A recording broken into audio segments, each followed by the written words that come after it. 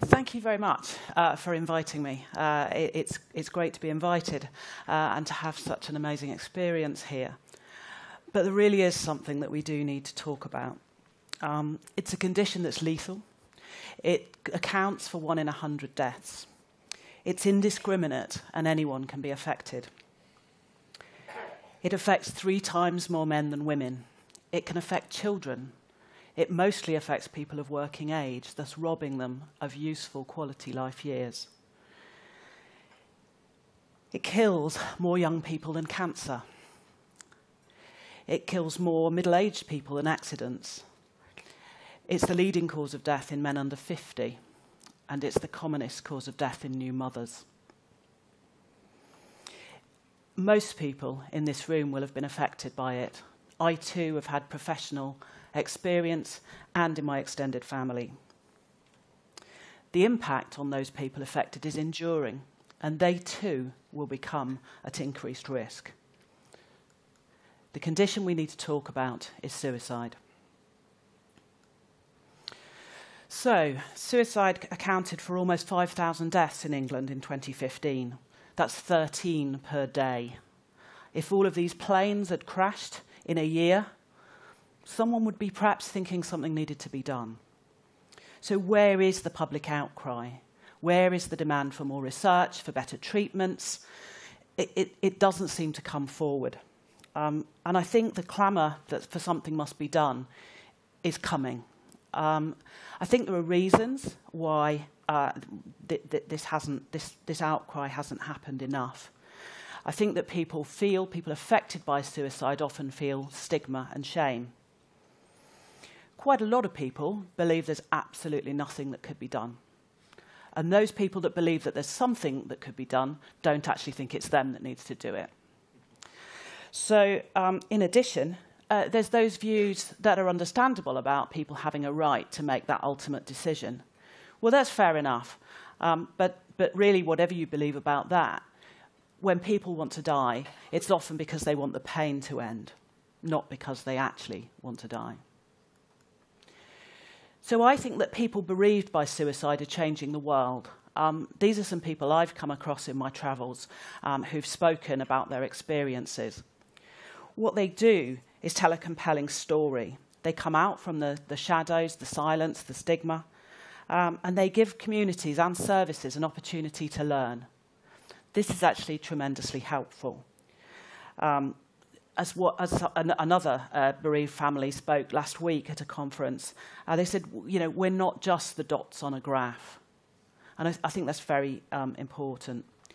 In addition, as well as those people who are bereaved, and I just probably should acknowledge Andy talking earlier, um, you know, this is a brave thing to do, but it does actually bring a motivation to, to do something. The other group of people who are, re- oh, sorry, people, these are people who've actually started to become part of strategies around suicide and affect policy. So Hamish Elvidge has actually offered a quote to the, uh, one of the national suicide prevention strategies. And it really just, when you see those numbers and then read this uh, quote, I think it's really difficult to say everything's fine and nothing can be done. But the other group of people who are really important to us and can help us in our quest are those people who've survived suicidal acts. Now, there are a number um, in the UK. I'd suggest uh, organisations like State of Mind Sport um, and, uh, and others. But I'd just like to introduce you to Kevin Hines. Um, I actually bought my T-shirt from Kevin Hines' mail order, so um, that's, uh, that, that's where it came from. So here's Kevin, I hope.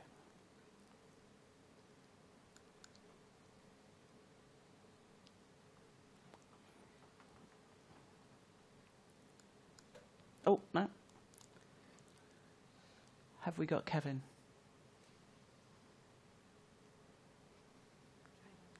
Okay, here he is. So he'll introduce himself in a moment. He's quiet at first, and then he'll start to talk.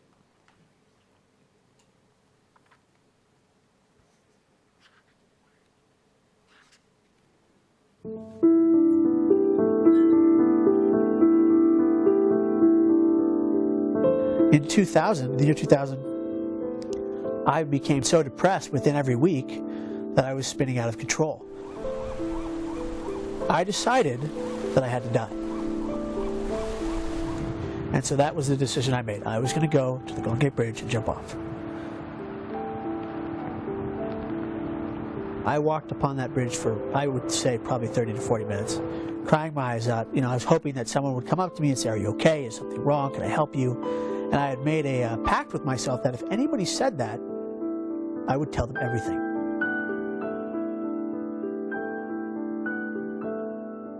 I was so shameful that I couldn't speak out to anyone the pain I was in. Thus, I ended up leaping off that bridge. And at the moment of free fall, I said, God, please save me. I don't want to die.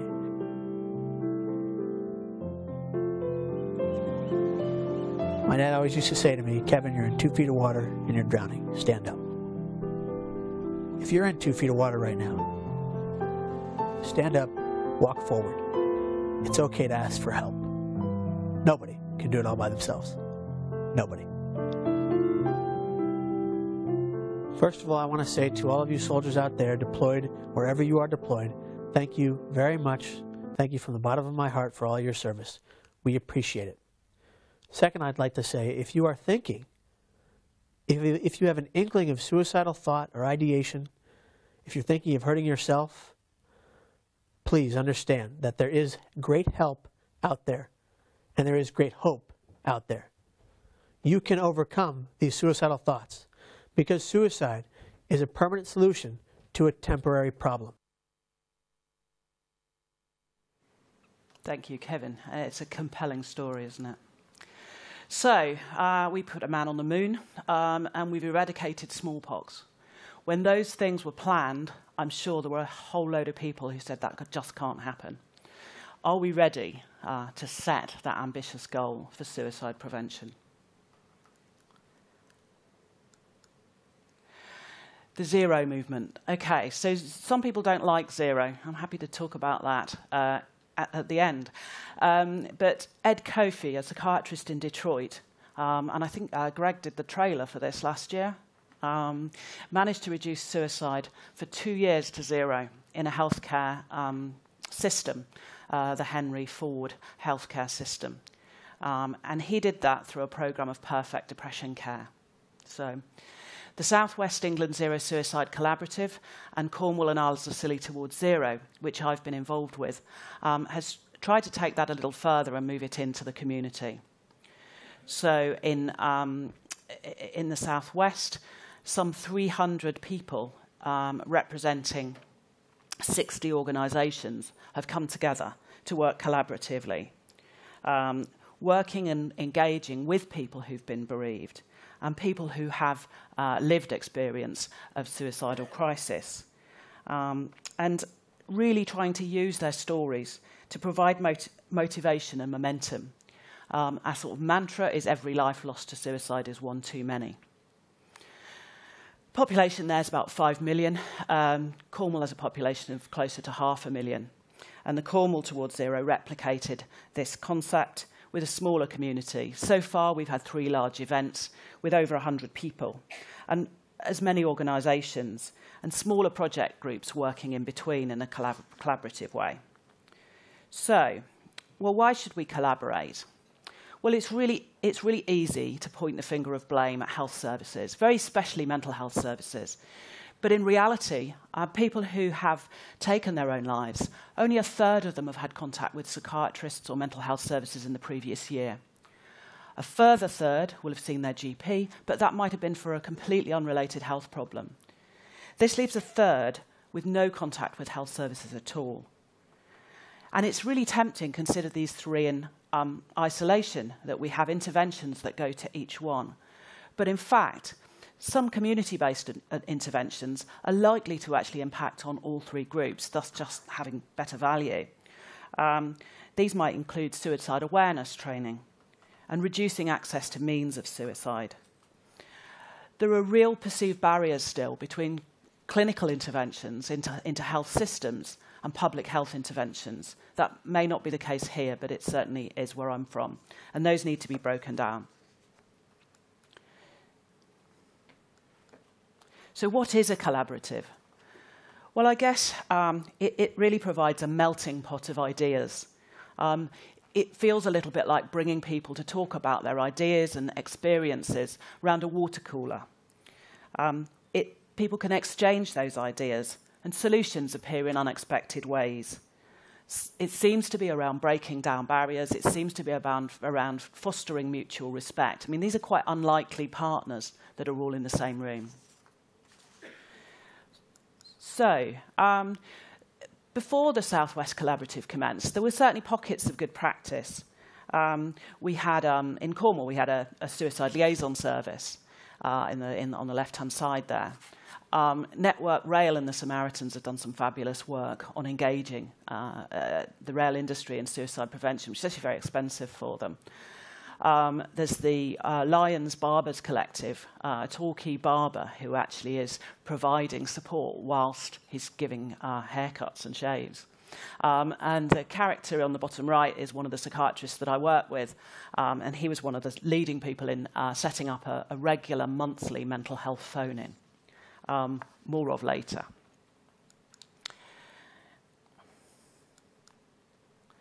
So these are some of the things that have, um, have, have bubbled out from this uh, cauldron of ideas.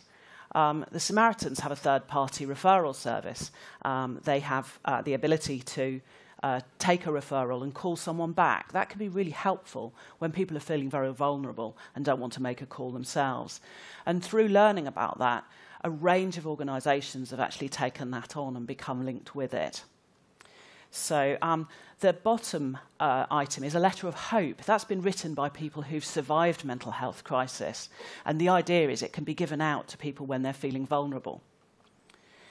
The um, cathedral service at the bottom, um, a service of reflection uh, and, uh, uh, uh and support for people who've been bereaved. Um, it was a very moving service. The second one was just this year. Um, and it was supported this time by a, male voice choir who'd actually lost a member to suicide, so particularly poignant. Um, the um, the uh, card, this is a, a, small How Are You Really Feeling card that's uh, illustrated at the top, um, has actually arisen from conversations with people about how important it is not just to ask people how they are, but kind of ask them how they really are uh, and actually listen to the reply. Um, other things that have happened, uh, suicide awareness training, ASSIST, has been provided very specifically um, to police community support officers who support the farming community and is being planned for those that support um, hate crime, so vulnerable, particularly disadvantaged groups.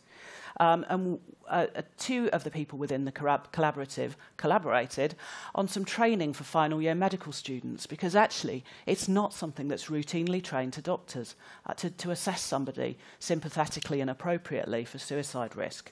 And every specialty of medicine needs this training. Um, it is now on the GMC new curriculum, I'm pleased to say. So I'm going to talk about a project in Cornwall. This was an innovative project uh, involved my own organisation, the Mental Health Trust. It involved the Samaritans, Radio Cornwall, Public Health, who work for Cornwall Council, and a slightly surprising partner, a brewery. Um, this was around posters. I'll talk a little bit more about them. Uh, but the organisations that are coming across the screen are organisations who have displayed uh, the posters. Um,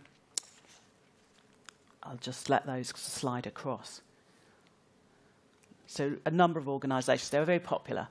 Um, and I, what I should say about the posters is that they're actually designed particularly for the male toilets. Because of this increased risk in men, um, the idea is that we might actually uh, find men at a time when their attention is undivided. So.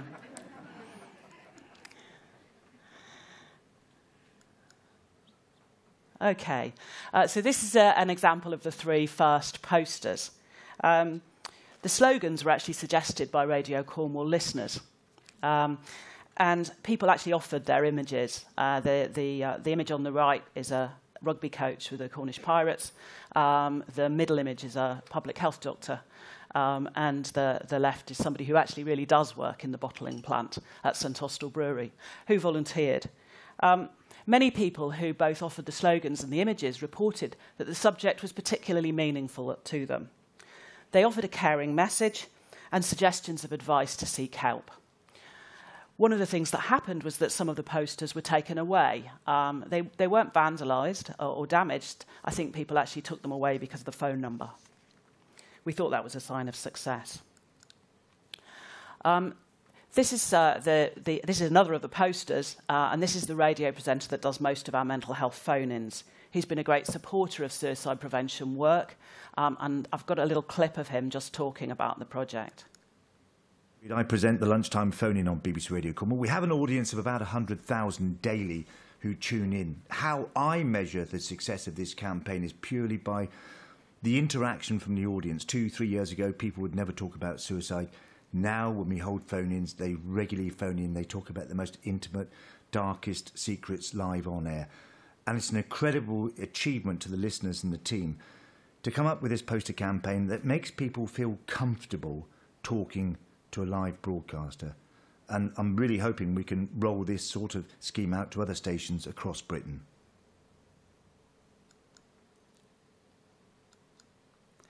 This is Emma. She's our inquest solicitor she has taken on the role uh, of giving the um, journalists that attend inquests a copy of the Samaritans media guidelines. This is really important. The way that suicide is reported is a really important uh, health and safety issue. Um, and that's now being taken over by a new court witness service. So hopefully there will be no excuse for poor reporting at any time. And this is a great development. Um, Alex contact contacted us wanting to um, run an event for men with mental health problems um, as a result of a suicide loss of his, a friend of his.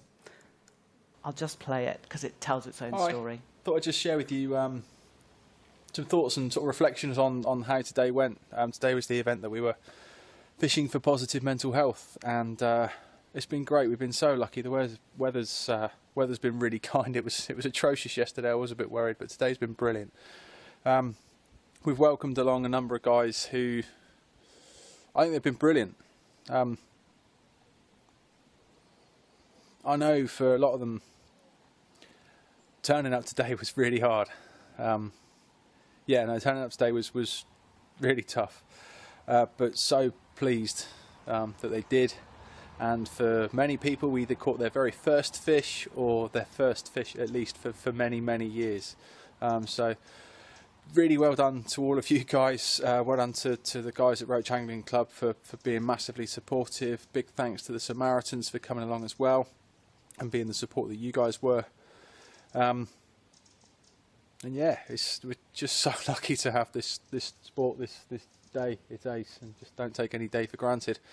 And uh, thank you to everybody who who did the, the liking and sharing on Facebook. It certainly was a method that talking to people that was that was how they found out about it. So really really grateful for for all the work that you guys did as well. So all right, thanks again. Cheers.